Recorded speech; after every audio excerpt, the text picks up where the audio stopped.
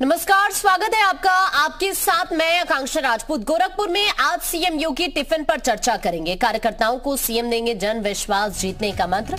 2024 को लेकर कार्यकर्ताओं के साथ रणनीति यहाँ पर तैयार की जाएगी। मुख्यमंत्री योगी आदित्यनाथ आज पार्टी कार्यकर्ताओं के साथ टिफ़िन पर चर्चा करेंगे। उन्हें जन विश्वास, जीतने का मंत्र देंगे। ये कार्यक्रम गोकुल अतिथि भवन में आयोजित किया जाएगा। टिफ़िन पर चर्चा कार्यक्रम प्रधानमंत्री नरेंद्र मोदी के 9 साल के सफल कार्यकाल के उपलक्ष्य में बीजेपी की ओर से चलाए जा रहे महीने भर के विशेष संपर्क महाअभियान का हिस्सा है।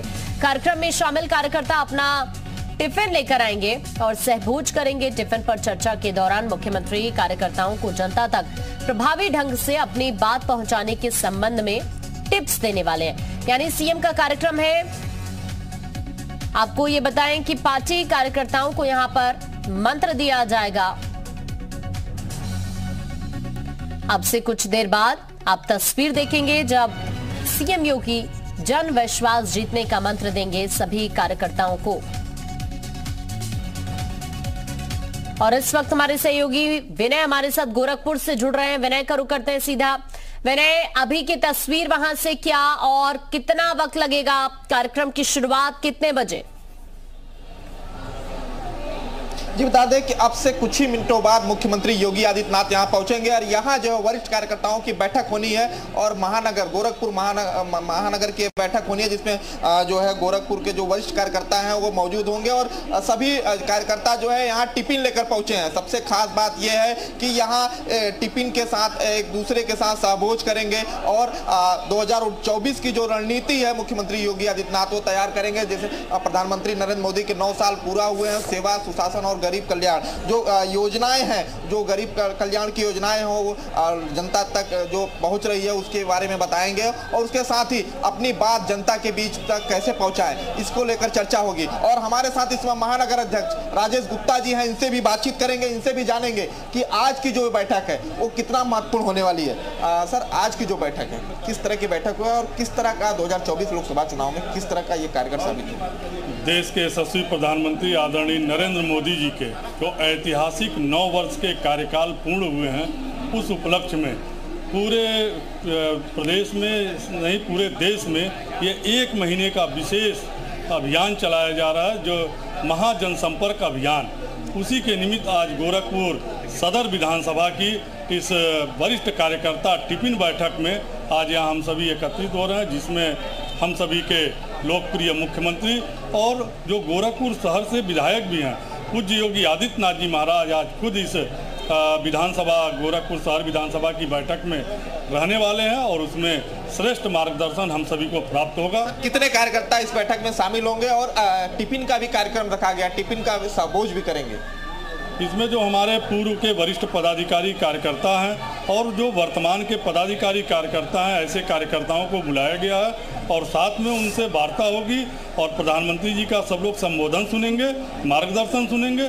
उसके बाद साथ में सामूहिक सभी लोग जो अपने अपने घरों से टिफ़िन लेके आए हैं, सभी लोग टिफ़िन करेंगे, एक साथ बैठ के भोजन करेंगे, एक रूपता का भाव दिखेगा ताकि हम सभी 2024 के इस ऐतिहासिक चुनाव में पूज्य योगी आदित्यनाथ जी के अगुवाई में उत्तर प्रदेश की अस्सी की अस्सी लोकसभा सीट और देश के यशस्वी प्रधानमंत्री नरेंद्र मोदी जी के नेतृत्व में पुनः देश में एक पूर्ण बहुमत की सरकार बनावे इस निमित्त ये कार्यक्रम आयोजित है। देखिए जो कार्यकर्ता है वो भी अपने टिफिनों के साथ पहुँचे हैं। जो टिफ़िन लेके पहुँचे उनसे पहले बात करेंगे। चाचा क्या नाम है? कहाँ से आए हैं? मुझे बीरेन्द्र शाही एडवोकेट कहते हैं। मैं बेतिया आते से हूँ। अच्छा टिफ़िन लेकर पहुँचे हैं। क्या है टिफ़िन में? इसमें अपना पूरी है सब्ज़ी हलवा है। अच्छा तो ये टिफ़िन लेकर पहुँचे हैं। महिला कार्यकर्ता भी यहाँ पहुँची है उनके पास भी चलेंगे। देखिए सबके हाथ में टिफ़िन है।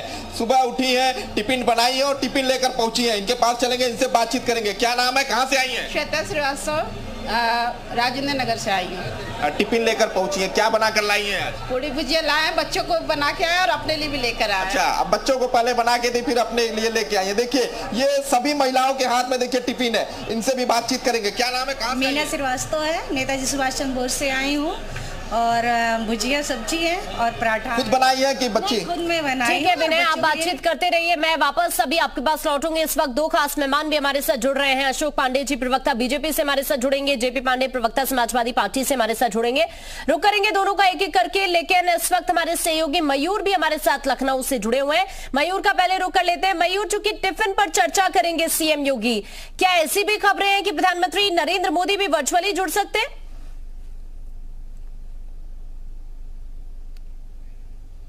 मुख्यमंत्री योगी आदित्यनाथ करने जा रहे हैं गोरखपुर से, लेकिन इस वक्त हमारे साथ राज्य मंत्री दानिश आज़ाद अंसारी जी हैं। उनसे पूछते हैं कि, सर, ये जो टिफ़िन बैठक की शुरुआत कल से हालाँकि होनी थी, घटना के चलते नहीं हो सकी, आज से मुख्यमंत्री जी इसकी शुरुआत कर रहे हैं। इसका मोटिव क्या है? क्या फ़ायदा मिलेगा आपको इसका चुनावों में? देखिए, भारतीय जनता पार्टी चुनाव के दृष्टिगत और फ़ायदे, नुकसान के दृष्टिगत कोई काम नहीं करती। हमारा लक्ष्य ये है कि हम समाज के बीच में रह के कैसे परस्पर सहयोग से अच्छे संवाद के साथ समाज को बेहतर दिशा में आगे ले जाएँ। संवाद स्थापित करके कैसे सरकार की योजनाओं को धरातल पर और बेहतर तरीके से उसको लागू कर पाए। संवाद करके कैसे सरकार की योजनाओं को हम और अच्छा और बेहतर बना सकते हैं, इन चीज़ों के बारे में बात करें।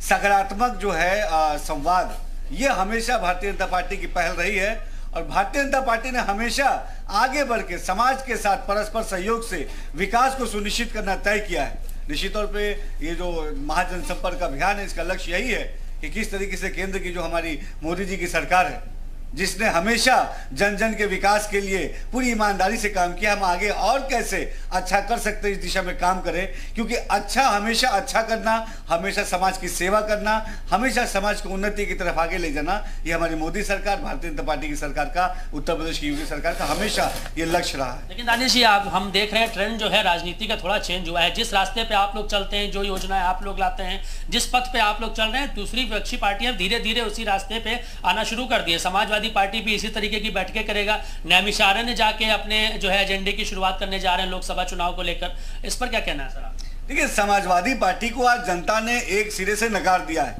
आप हर चुनाव देखिए, चौदह, सत्रह, उन्नीस, दो हज़ार बाईस या निकाय चुनाव 2023 का हो।